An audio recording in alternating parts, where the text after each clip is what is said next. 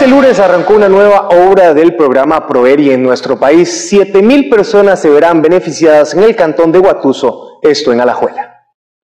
Se trata de la construcción de un puente vehicular sobre el río Frío en la comunidad de Betania.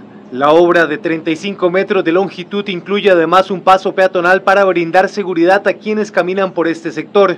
Esta nueva obra forma parte de los 502 proyectos del programa ProERI, el cual consiste en un préstamo que solicitó el gobierno al BCIE.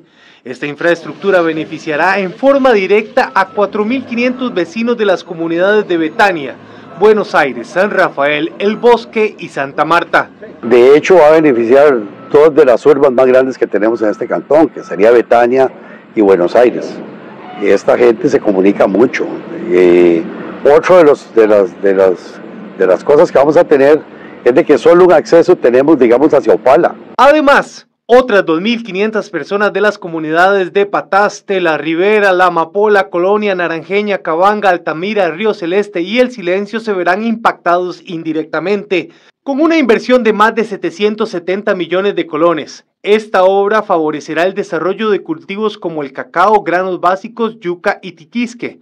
Además, potenciará la ebanistería y talabartería propios de la zona.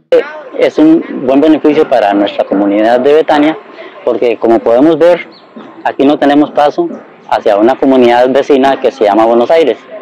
Con esta inversión que nos está haciendo el CNE, que estamos totalmente agradecidos, eh, nos, nos, emociona, nos alegra eh, y nos enorgullece que sea la construcción de este puente. Además de esta obra de protección, otros cinco proyectos del programa Proveri se ejecutarán en este cantón alajuelense, entre ellos la reconstrucción del CTP de Guatuso y cuatro puentes más.